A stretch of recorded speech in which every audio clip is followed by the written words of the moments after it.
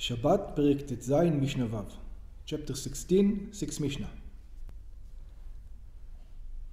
הנוכרי אינו מצווה על השבת. A Gentile, someone who is not Jewish, is not commanded to keep Shabbat. וכן, אין ישראל מוזהר על שביתת הנוכרי. And also a Jew doesn't need to make sure that the non-Jew keeps Shabbat. אלא אם כן הוא עבדו. When does a Jew need to make sure that a non-Jew does keep Shabbat? When the non-Jew is a slave. But since there's no such things today, there's no situation where a non-Jew is, is supposed to rebuke him or Can doing something for Shabbat. Work for him, Avdo, like. No, well, uh, Avdo is the only way. If you have Avdo. a Shabbos going. No. Uh, we, that's exactly what we're going to discuss. Oh, okay. This is the discussion oh, about Shabbos. Very helpful. Yeah, we, we, that's exactly what the Mishnah is going to be. אבל אסור לישראל, but it is forbidden to a Jew, לומר לנוכרי, to say to a non-Jew, שיעשה מלאכה בשבילו, that he should do work for him. By the way, many people today take a lot of leniency where you're not supposed to. Yeah, and they think that it's okay to yeah. tell somebody, yeah, he's a guy, he can do it. Yeah. Sheken, it says, what's the problem? He's not commanded to keep Shabbat.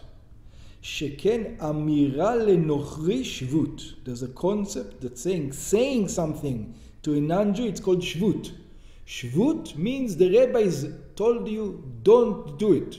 Don't tell a non-Jew. It's not from the Torah. It's not commanded from the Torah. But the rabbi says, don't tell a non-Jew to do it. כלומר, which means, שאסרו חכמים דבר זה משום שבות. The sages prohibited it because of שבות. עיין בפתיחה למסכתנו בעניין שבות. Look in the beginning of the מסכת when it comes discussing שבות. והרמב"ם מבאר הטעם. The Rambam explains. It says, why this, if the God did not obligated the non-Jew to work on Shabbat, why do you care to tell him? What's the problem? הרמב"ם מבאר הטעם. The Rambam explains the reason. כדי שלא תהיה השבת קלה ביניהם. It says once, twice, three times, four times, you need the non-Jew to do your job. Okay, can you do this? Can you do this? Can you do this? Can you do this? You say, okay, so so w- you get used to the fact that he- all the things gets done, and afterwards, what's gonna ויבואו לעשות בעצמם? You say it's not a big deal. What does he do? He puts on the light switch to turn off the light switch. What's the big deal? I'm gonna put on the light switch, turn off the light switch.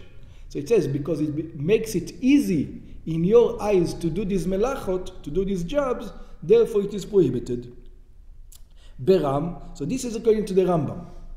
במחילתא דרשו זה מן הכתוב, in the מחילתא they learned it from another verse, it says, כל מלאכה לא יעשה בהם. Every job you should not do in them. Who's the them? The them is the נוכרי.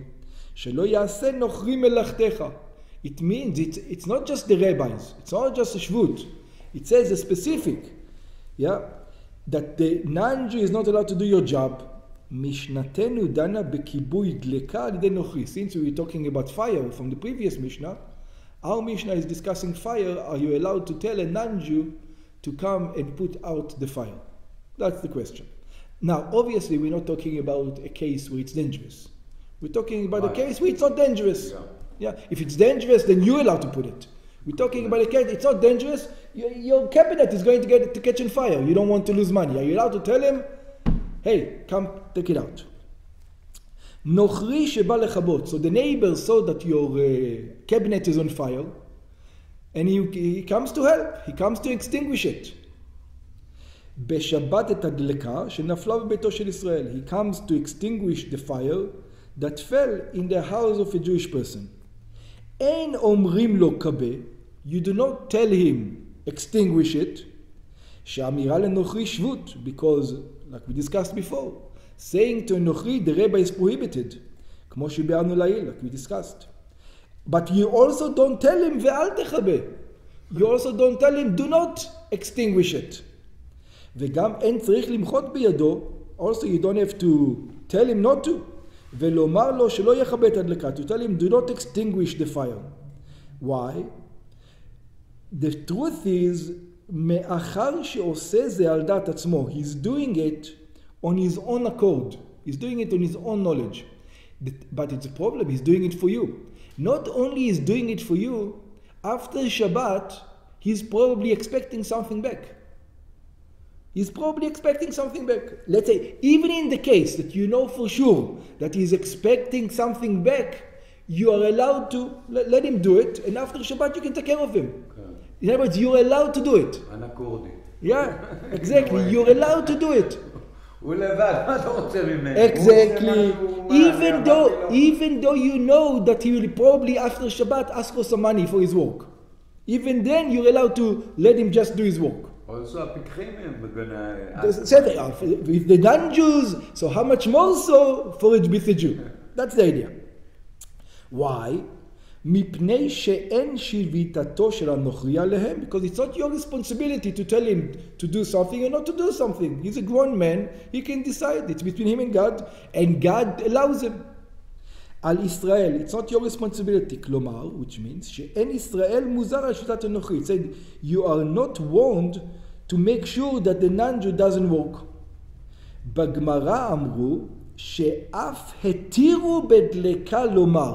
In the Gemara, it says when it comes when it comes to a non-Jew, completely, um, you're not allowed to tell him to do to it. To a Jew. Yeah, to a Jew. Sorry, but when it comes to a non-Jew, you can say, guys, don't worry. After Shabbos, we'll take care of it. Okay. Yeah, you're even allowed to that. How do you say it? It says, if you extinguish it, don't worry. You're not going to lose money. Don't worry. Your time is going to get rewarded. In other words, you're not going to lose money. That's when it comes to a non-Jew. Everything. אבל קטן שבא לכבות. What about a minor? Now, what's a minor? We're not going to discuss now. There's many definitions of a minor. There's לפני חינוך, אחרי חינוך. I'm not quite sure what he's talking about. There's probably many variations. But a small Jewish child that is not obligated in commandments, whether it's before חינוך or after חינוך, that's not the point.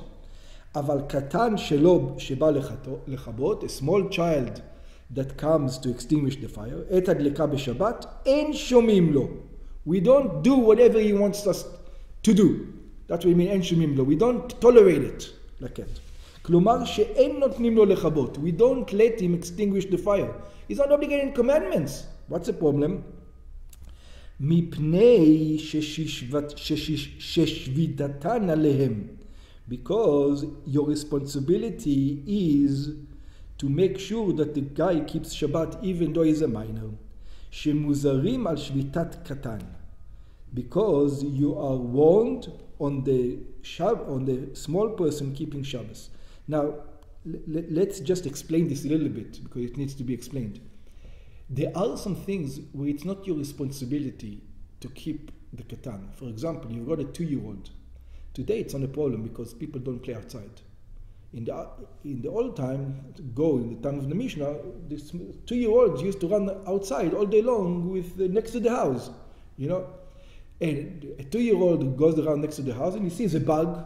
He sees over here a worm. What does he do with it? Especially at those times, he sees a locust, and he knows locust is what you do with locusts. You eat. You eat. So, and maybe this locust or this bug. So he eats bugs. You know. Now the question is: Is it your responsibility to stop him from eating bugs all day long? Because if it is, the mother can do nothing. When the kid is outside, it's her responsibility to make sure the kid doesn't eat bugs all day, all day long. She can never leave him alone. And that wasn't done. So it says, how come the mother is allowed to sit in the kitchen and do her stuff while the child is running around and eating bugs? It says, because it's not your responsibility to make sure that the kid doesn't eat eats kosher. He's not, he's not, he didn't get to the age of education yet. Once he gets to the age of education, then it's your responsibility. So maybe over here, that's why the Mishnah comes. Maybe over here it's the same. Maybe it's not your responsibility to tell him not to do something. So it says, no, no, no. When it comes to Shabbat, it's not like the bugs. Uh-huh. It is your Yes. responsibility. That's why the, the Mishnah is... Uh, Hmm, interesting. אוקיי, מפני ששביתתן עליהם. בגמרא מבואר, או, he actually says that. בגמרא מבואר שאומנם ההלכה היא שקטן האוכל ד- נבלות, that a small person who eats uh, unkosher food, אין בית דין מצווים להפרישו לענייה מזה. You don't have the responsibility to tell him not, not to. אבל כאן ב- מדובר בקטן העושה לדעת אביו. Over here you're talking about a small person who's doing it for his father. He's doing it In other words, they, Because he's going to make his father happy. that's right. כלומר, כלומר שיודע שהכיבוי נוח לאביו. He knows that the father likes it. ועושה זה בשבילו, and he's doing it for him. הילקח חייבים למחות בידו. Therefore, you have to rebuke with them. So what's the difference between them? When the small child is eating the bugs, he's not doing it for his father. He's doing it for himself. Over here, he's doing something for you, so you have to stop him. That's the difference. ברם, בנוכרי בחגון זה מותר. When a non-Jew do- does something for you, Then you can let him do. then you can let him do. שאף על פי שיודע שנוח הכיבוי לישראל, even though he knows he's giving you some value, מכל מקום להנאת עצמו מתכוון. The reason he's really doing it is because he knows he's going to get some money in the end. שיודע הוא שיקבל שכר טרחתו. He knows he's going to earn some money from it. Okay.